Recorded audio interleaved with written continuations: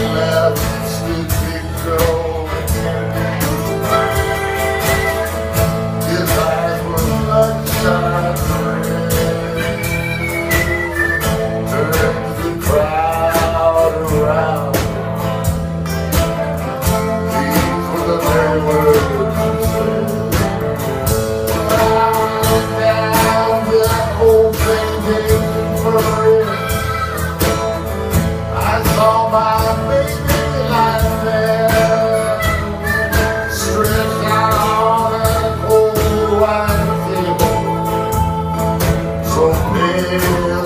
goes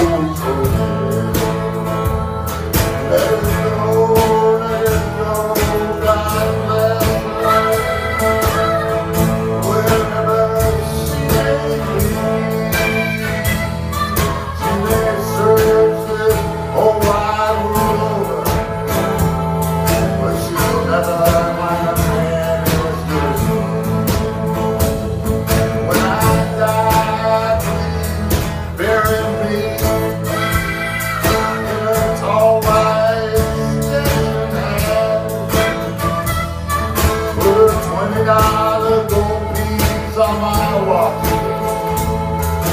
the man on the on. side.